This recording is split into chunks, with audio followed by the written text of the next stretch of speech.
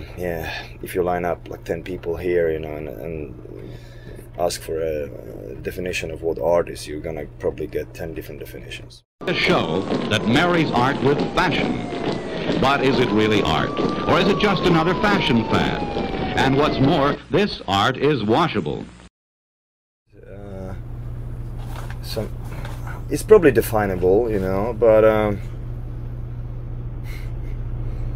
I just know that I'm dealing with art on an everyday basis, and the stuff that that, that I create, it's, it's I consider it art. Uh, but uh, if you ask me, just give me definition. And to be honest, I'm like, fuck definitions. You know, let's just let's just stop analyzing every, everything, trying to put everything in words and definitions and labels. You know? I mean, to be honest, I'm like so bored with that kind of stuff. You know, like art is there in the street. Go out and see. You'll see your definition. You know what?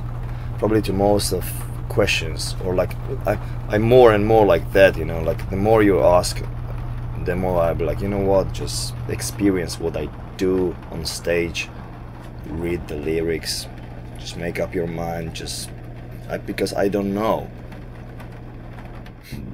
You know the McDonald's culture here and stuff. You know, I I, I, I mock that officially, and I have no respect to that whatsoever.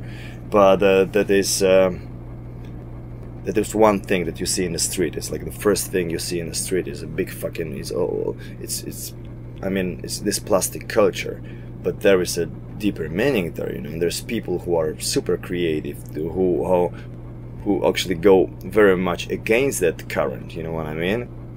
The, there's a lot of rebels in America. You know, and uh, I'll I dare to say that heavy metal is part of of this tendency or a trend or I don't know how to call it but it actually encouraged people to to rebel against uh, the plastic culture so there's a huge space you know to be fulfilled with some something very creative and something some some intelligent substance you know what I mean maybe art but maybe some other stuff I don't know I'm trying to put my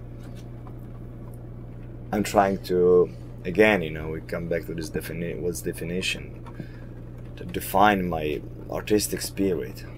Fucking damn it, you know what I mean? I was like, I, I, I don't even know how to bite it, you know, from which side, you know, how to put it all together. I just don't know it, you know. But I know how to do it. I mean, like to how to express it, you know, without words just on a carnal and spiritual level, you know, without using words, because I just feel very limited by by this, you know what I mean? So I'm pretty much becoming more and more like him, you know. It's like this is it. Just it's, here's my piece. Here's my record, you know. Here's my show. Just enjoy it as much as you can, and if you, if you don't, you know, I don't care, you know. But this is it. Ivan said that uh, someone said that the, the, the, most perfect copy of Mona Lisa is, is, is not as perfect as you know a child's you know crippled you know drawing you know and there's more art um, and more creativity in this primitive drawing of a you know a toddler than in a perfect copy of Mona Lisa painting and I somehow I like that, you know what I mean? I heard it like a few years ago. But,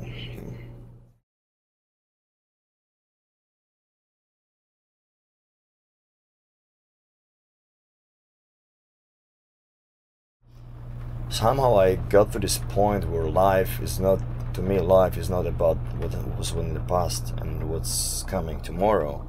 It's about what's happening today. So this here and now philosophy I brought to the stage and where I perform, when I'm in the studio, where I'm whatever, you know what I mean, dealing with art. And, uh, this is it. That's that's the this is crucial to me when it comes to to you know to what behemoth means to me. I'm on stage and I'm into the music. I'm there.